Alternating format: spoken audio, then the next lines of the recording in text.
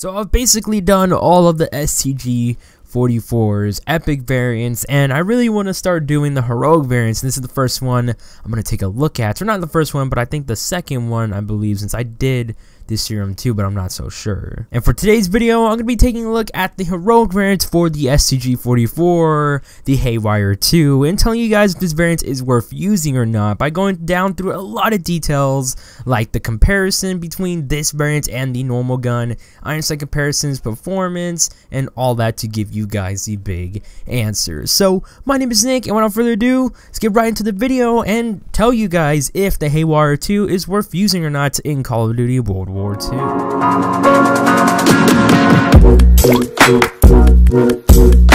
II. So the Haywire 2. Now it's not a special variant for the STG-44 at all. It really is just a normal STG-44 just without a stock or at least the stock folded under it. It's basically like the all-out for the MP40. The only big difference is the gold and black on it, but honestly you can really resemble this camo just by getting the Nor black camo or whatever makes the guns all black. I'm not going to show any comparisons between this variant and a normal STG-44 because literally is just a normal STG-44 just with the stock under it. So the only way to get this variant is through the supply drop system and it is heroic variant so it's going to be a lot harder to get than if it was an epic. But I know once you do get it, the one question is, is this variant worth using? So let's break down this variant through multiplayer and zombies so I can give you guys the answer. So first off, multiplayer. So multiplayer, it has a perk and it's 15% extra soldier XP. Now, it's a little bit more than 10% and you will see a difference right there, but with 10% or 15%, no matter what, it does help out a little bit.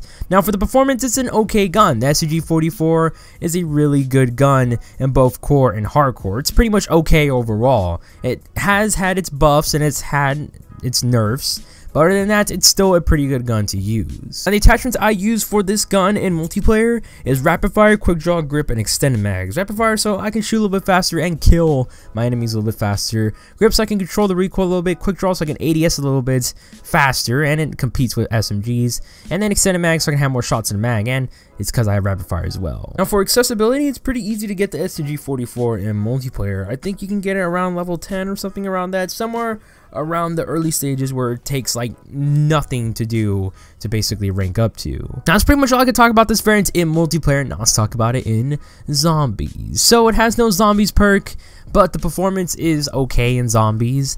It's a really good gun up until round 15, and then once you get to round 15, you're going to need some max ammos a lot more than usual. Now the attachments I use for the STG-44 in zombies is advanced rifling, steady aim, extended mags, and rapid fire. Now advanced rifling so I can kill the zombies a way quicker if they're farther away, and steady aim just in case if I decide to hip fire, all the bullets actually hit the zombies, then extended mags so I can have more shots in the mag, and rapid fire so I can kill the zombies a little bit faster faster, and it helps make my gun a little bit stronger in higher rounds. Now for how easy it is to get this gun in zombies, basically you can get it in the mystery box and on walls, so pretty easy to get this gun. Now let's compare both multiplayer and zombies to see if this variant is worth using or not. So first off, this variant only has a perk for multiplayer, but the perk does help out a lot in leveling up in multiplayer, especially if there's a double XP weekend or whatever going on.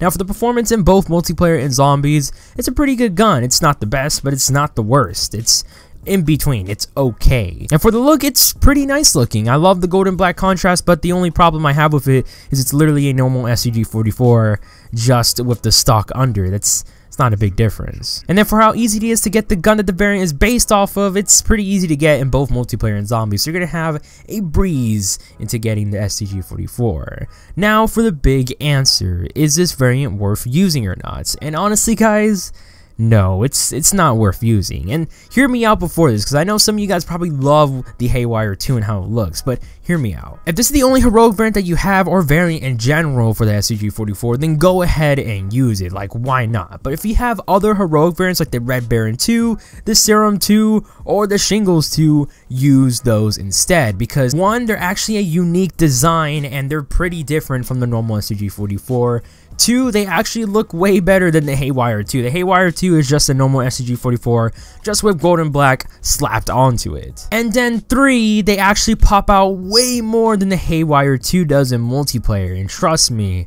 they do. So that's just my opinion why I think you shouldn't use the Haywire 2. But again, if that's the only variant you have or the only heroic, then go ahead and use it. Other than that, if you get another one for the STG-44, use that one instead. Trust me, you'll love it way more than the Haywire 2. But guys, it's basically pretty much it for this video, and if I did help you guys out on choosing whether or not to use a Haywire 2, then drop a like, it helps me out a ton. And if you're new to subscribe for more amazing content I upload every Monday, Wednesday, and Friday. And remember that bell and subscribe button so you don't miss an upload. And also, I'll pop a card to the series playlist right about now, and I'll put in the description down below. Series playlist is called the Is This Variant Worth It series, and basically if you're wondering a Quartermaster Collection variant or Supply Drop one is worth using, then this series is for you. I go down through a lot of details like iron sight comparisons, comparisons overall between the two guns, the performances, the perk, and all that to give you guys the big answer. So I highly recommend checking out the playlist after the video. But again guys, it's basically pretty much it, and I hope you guys have an amazing day. And also comment down below your thoughts about the Haywire 2. Do you like how it looks? Do you not like how it doesn't have a zombies perk? Just